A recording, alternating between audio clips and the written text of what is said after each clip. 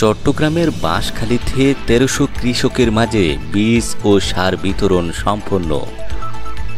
আমানত করিমের প্রতিবেদনে বিস্তারিত।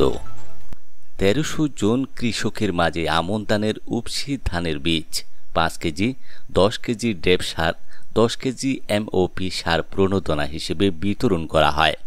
এছাড়া এক হাজার জনের মাঝে নারিকেল চারা বিতরণ উদ্বোধন করা হয়। উপজেলা কৃষি অফিসার আবু সালেক, এর সভাপতিত্বে কৃষি সম্প্রসারণ অফিসার মোহাম্মদ নুরুল ইসলামের সঞ্চালনায় প্রধান অতিথি হিসেবে উপস্থিত ছিলেন উপজেলা নির্বাহী অফিসার জেসমিন আক্তার। বিশেষ অতিথি হিসেবে উপস্থিত ছিলেন উপজেলা প্রাণী সম্পদ কর্মকর্তা ডাক্তার সুপন নন্দী, উপজেলা সমবায় অফিসার গাজী ওমর ফারুক, উপজেলা পল্লী উন্নয়ন কর্মকর্তা এনামুল করিম সহ কৃষক, কৃষানেরা উপস্থিত ছিলেন। উপজেলা নির্বাহী অফিসার জেসমিন আক্তার বলেন, বর্তমান সরকার কৃষি বান্ধব সরকার।